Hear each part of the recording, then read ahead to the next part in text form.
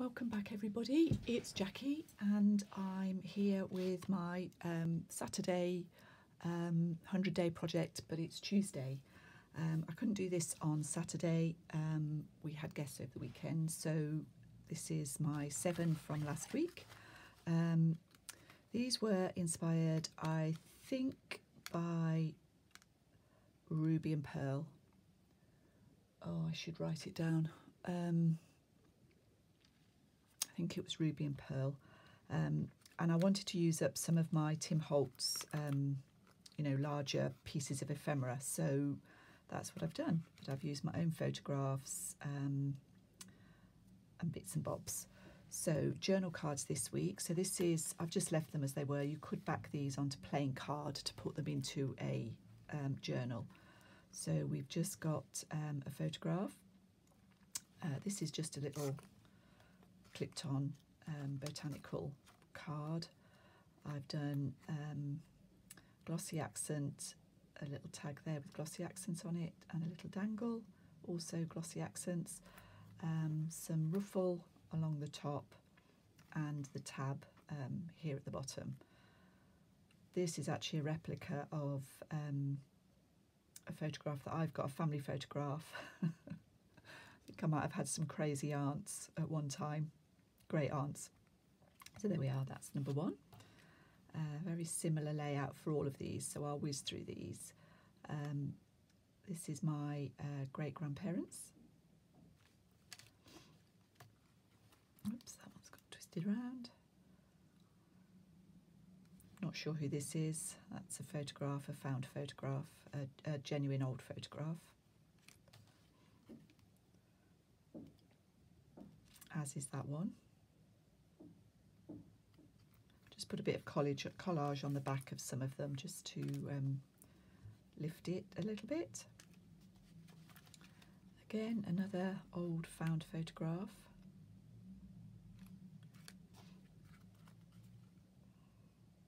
This is one of the Tim Holtz um, cards, found relatives. And this is another genuine, looks like 1950s photograph from my collection. So that's one, two, three, four, five, six, seven. Um, I'll do a little quick tutorial on how I put these together um, just now if you want to carry on watching. Okay, so I've got my Tim Holtz backing um, and an old photograph. Um, this is my mother um, holding a horse and I don't know who that is, definitely not dad. So this is prior, certainly prior 19, early 50s, maybe around 1949, 1950. Um, I am going to cut this card down a little bit. It's a bit, um, it's a bit too wide. So I'm going to take a section of this side, get a bit more manageable. And the first thing I do is place the photograph roughly where I want it, remembering we're going to have a ruffle along the top. And I've set all these um, slightly offset just for change. I'm very, tend to do things um, very straight a lot of the time, but uh, this time I offset it.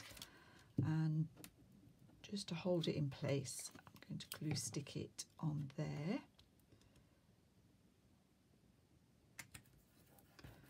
You want to add some collage, now's the time to do it. Um, so I've got a couple of tickets here. Um, this is a faux ticket. This is a real one. So I'll probably do something like that. Um, so let me just get a glue book.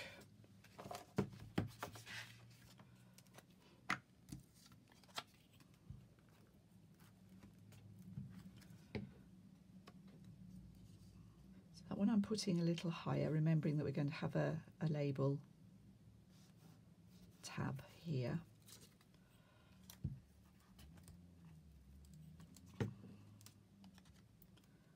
And this one just adds a bit of interest to this corner. Sorry, I'm speaking downwards, so Um, I think some people have problems hearing me, but um, all I can say is you'll just have to turn up, turn up your whatever it is you're using.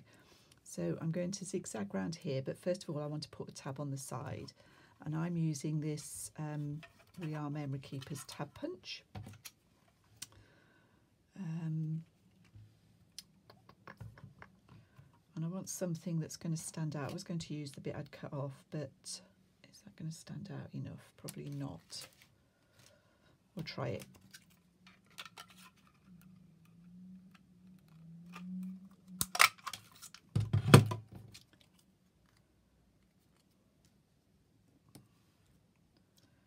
No, I don't like that, so you'll have to bear with me while I just search for something.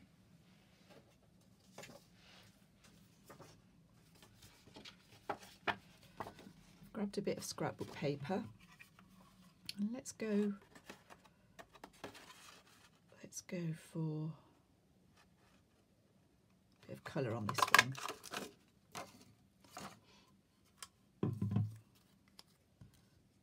So we can put that down there and I've also picked out a word from the Tim Holtz um, chit chat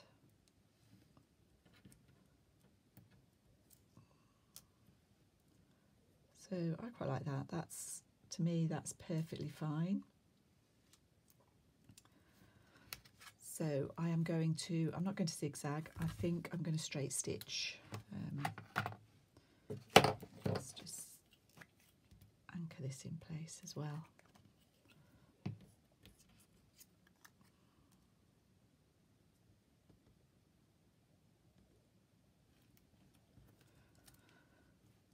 So for a change, I'm going to try and bring my sewing machine in so you can see what I'm doing. Um, so here we go. I'll just use this little John Lewis one.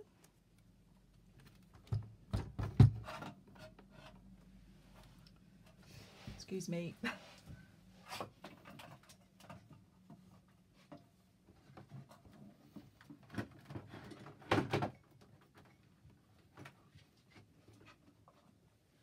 Sorry, the leads got caught. Hang on a minute. There we go. Right. Sorry about that.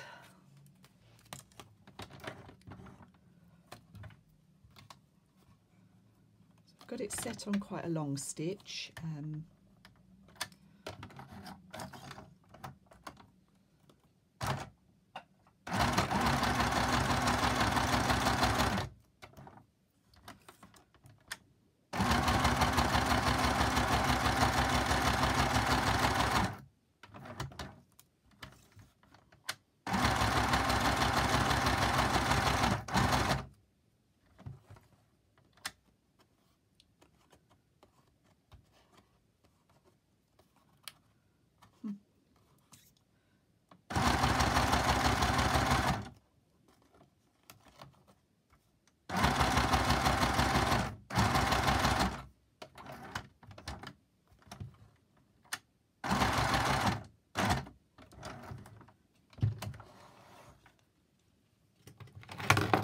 Sorry if you can see my head there. I've got the iPad quite close so that um, hopefully you get a good view but also can hear what I'm saying. Um, anyway, that's stitched on with a straight stitch and then I want to put the ruffle across the top here um, and I've just done a strip of, so this is cool because this tones in beautifully with that um, and the pinks. So I don't do anything fancy with this. I'm just literally going to um, stitch this across with a zigzag. So I start it off like this and just go across the top. So let's bring the sewing machine in again. Set it to a zigzag. Make sure I'm on the card.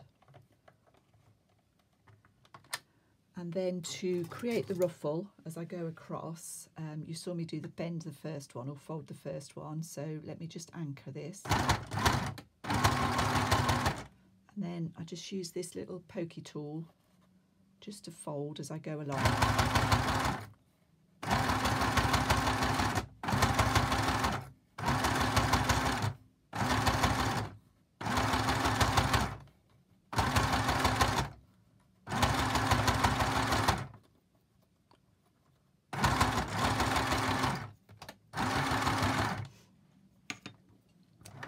should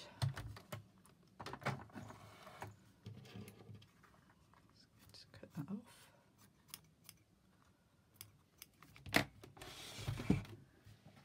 Let's get my better scissors, fabric scissors.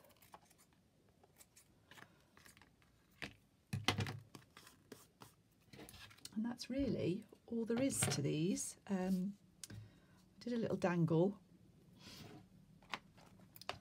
I did a little dangle on the uh, originals and I'll just show you roughly how I put that together. I've got this tiny punch. This might be a woodware one, yes. And I cut out three little card, just thin card um, tags and um, a pretty one, a bit of scrapbook paper. and I glue these together. I like my um, dangles, the tags I use on dangles, to be quite sturdy. So just pop those together.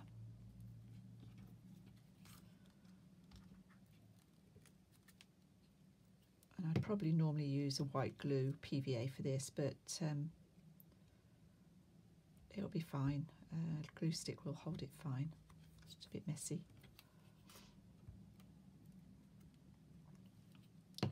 top one.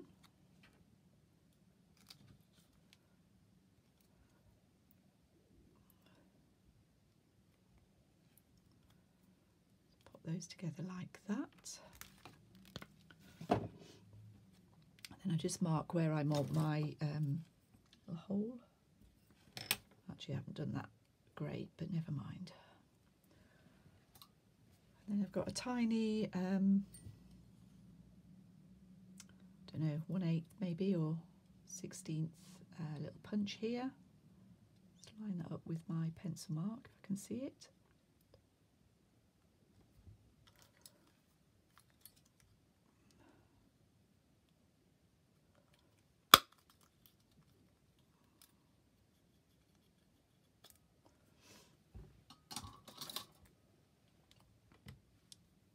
As I say, I would glossy accent that normally, but obviously I haven't got time to let that dry. Um, glossy Accents is a Ranger product that adds, um, sort of finds its own, its own level when you put it on something and um, makes, gives it a shiny finish, which is quite nice sometimes.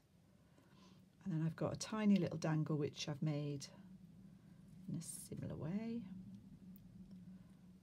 And I'm putting them onto a jump ring.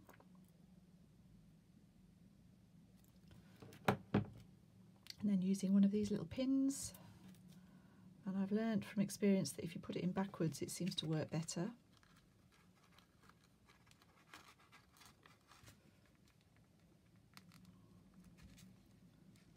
That through the layers. I'm going to try and fasten that